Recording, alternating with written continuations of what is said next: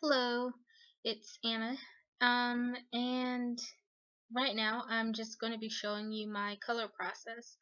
This is um, a commission that I did for someone, and uh, what I'm doing right now basically is putting a border around it. You don't have to do this, but I've found that lately it's really convenient for me um, because whenever I go to color the actual piece, all I have to do is select inside the contours of this border and um, I won't get any of the color outside. Um, and that's really convenient for me because I never learned how to color inside the lines. So, there we go. Um, and uh, what you'll see me do in just a minute is use the selection tool, uh, making sure all the lines are bold and there are no spaces between them. I use the selection tool, select all inside there. Um, and then I lay down the colors that are on the bottom, the very bottom first. So the skin is pretty much the lowest layer that I will use. The hair, their hair, their brother and sister, so their hair is almost the same color. I keep that on the same layer too. You see this uh, pinkish kind of tone, and then you see uh, purplish, um, which is what I use. I use um, just the regular pen tool, um, and I do kind of cell shade, not necessarily cell shade, but um, you know, just put down the basic basic outline bottom flat color and um, then afterwards I blend it um, it's a lot easier to do that because like I said then you can select the actual color or the outline contour whatever and uh, then afterwards you you can shade it. Right now I'm doing her the girls um I guess outfit. And like I said I use uh, the color that I use like a bold color and just do that first. Um is so I use all the same color on the same layer so I don't get confused and I don't have that many layers. Um and uh, the first lines that you saw me put down were just to make sure exactly where the color would go because sometimes I get confused uh, even though I drew it myself. So yes. Um and then afterwards right I just start on his um, outfit this is I can select uh, whatever place that I don't want to be colored and after I select it I go back to the layer that actually had whatever color is on there and I erase it all from inside whatever that I, I needed. That's why layers are good. Um some people don't use layers. I use layers. I like layers. Layers are my friend. Um, especially when I'm trying to do something really quick. Um, because I don't know necessarily how to make everything look as good as it should without layers. Yes. So here I'm doing his uh, sleeves, the brother sleeves.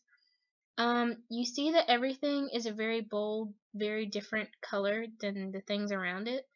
Um, this is for a reason because first of all, these are very colorful characters. Second of all, because um, I like to color stuff really, I guess, uh, contrasty sort of. Yeah. So here what you see me here what you saw me do was I laid down the basic skin tone. I put in the shadows. I put in the medium shadow for the skin tone and I just shaded it with a water tool. That's all I did and then I went back with the medium color between those two colors um, and I blended it in even more.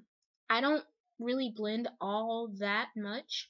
I just go over it maybe once or twice and you see this uh, very nice contrast in the skin tone. I go over it, I outline it in the lightest tone um, for highlights and uh, then I do the eyes and everything. I try to do everything that I consider, I guess, skin, fleshy kind of stuff on the same layer. So, uh, the tongue, lips, nose, eyes, I do all that on the same layer. Um, for the shinies on the lips, the highlights on the lips and tongue, I use the same, I use the lightest layer that I use for the skin.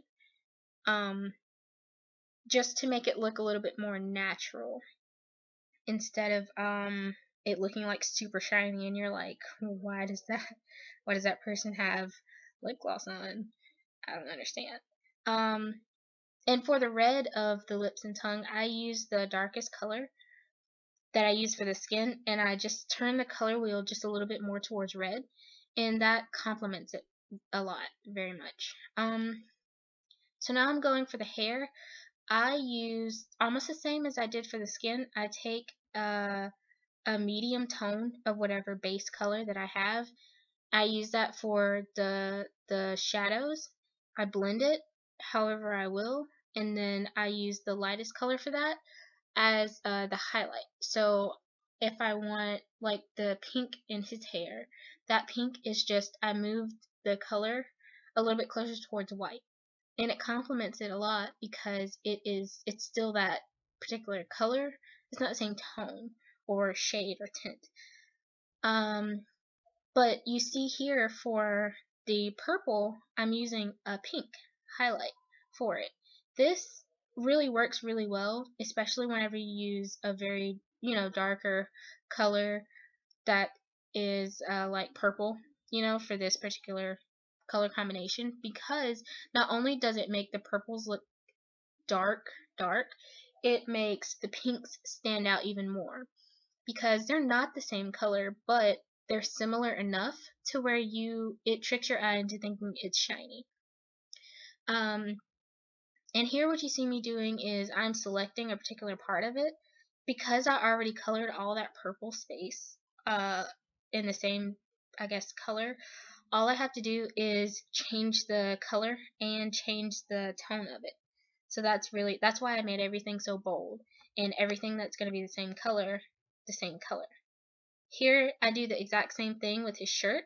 You see it's it started out as being a very light kind of a greenish bluish color. I shadow it with a very deep green and then I highlight it with a very light blue. But then whenever I changed the color, I changed it uh, the whole thing so that you know I don't have to bother with the shadows and everything. Now, when you do that, when you do that with white or black, you have to be a little careful because colors don't react the same as white and black do. So if you're doing something in white and black, you have to do it in black and white. You know, um, instead of doing it in color and then changing it because you might have a red and a blue beside each other. Well, red and blue, when you turn them to black and white, sometimes they look like the same color. Not because it's a whole bunch of like science and art and crap that goes into it as to why that is, but just understand that colors don't react the same as they do in um, white and black. Um, and here you see his belt. It was a very bold, very bold blue or whatever. Um, I did that because I knew it was going to be colorful. So then I could just change whatever the color was.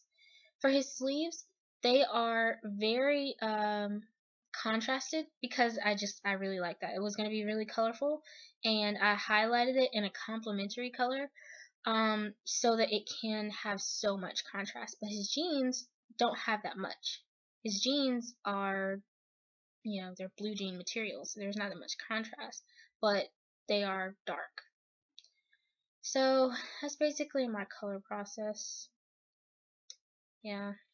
See you guys. Thanks for watching.